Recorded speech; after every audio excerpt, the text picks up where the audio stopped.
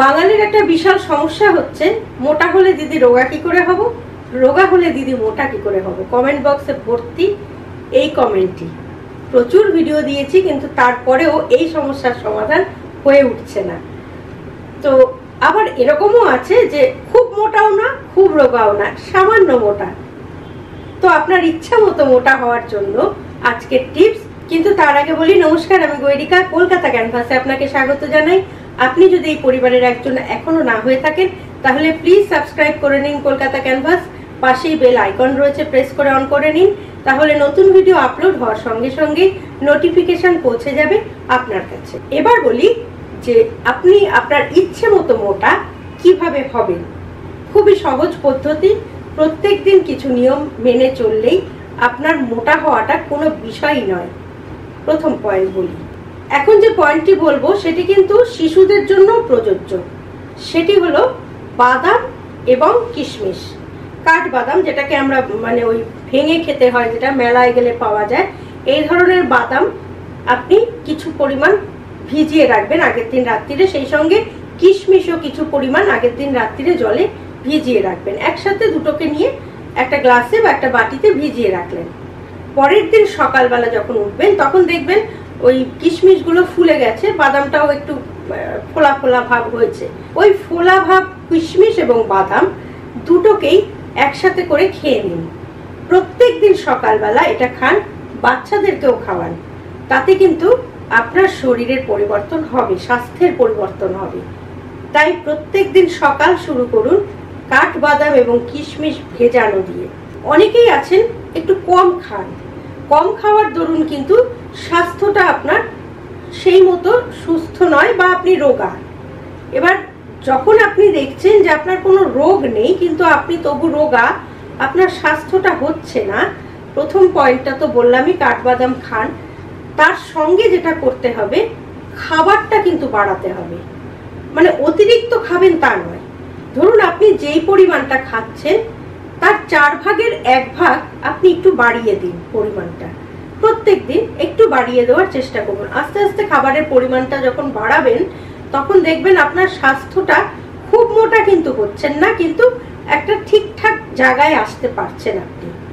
অনেকেরই অভ্যেস আছে বারবার খাওয়া। এই বারবার খাওয়ার দরুন কিন্তু কখনোই মোটা হওয়া যায় না। কারণ এটা অনেকের ধারণা আছে যে বারবার একটু বেশি করে করে খেলে বোধহয় স্বাস্থ্য ভালো হবে। কখনোই নয়। ধারণাটা সম্পূর্ণ ভুল। আপনি যদি বারবার না খেয়ে একবারেই পেট ভরে খান, তাহলে আপনার মেটাবলিজমটা কমে যাবে।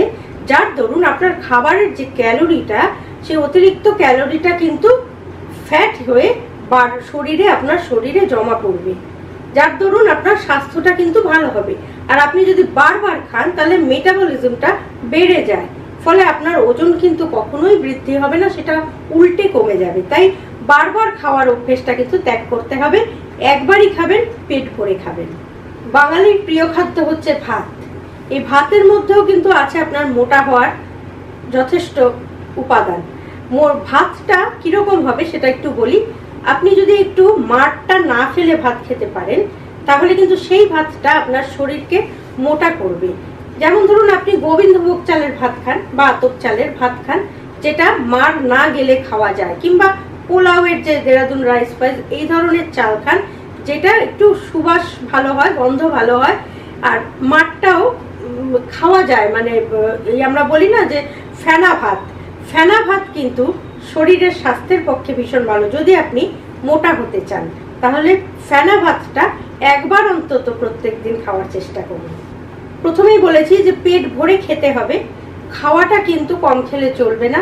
আর খাওয়ার সঙ্গে সঙ্গেই ঘুমানোর চেষ্টা করবেন। তাতে আপনার খাওয়ার যে ক্যালোরি, সেটা কিন্তু নষ্ট হওয়ার কোনো সুযোগই পাবে না। সেটা আপনার শরীরে গিয়ে জমবে, ফলে আপনার স্বাস্থ্য ভালো হবে। আরেকটা বিষয় হচ্ছে, প্রত্যেক দিন রাত্রিরে শোবার আগে মানে খাবার পর শোবার আগে এক গ্লাস দুধ নিলেন, তার মধ্যে একটু অনেকটা পরিমাণই মধু নিলেন। ধরুন তিন চার চামচ মধু নিলেন, ওই দুধটার মধ্যে মিশিয়ে প্রত্যেক দিন যদি রাত্রিরে আপনি খেতে পারেন, তাহলে কিন্তু আপনার স্বাস্থ্যের উন্নতি ঘটবেই ঘটবে।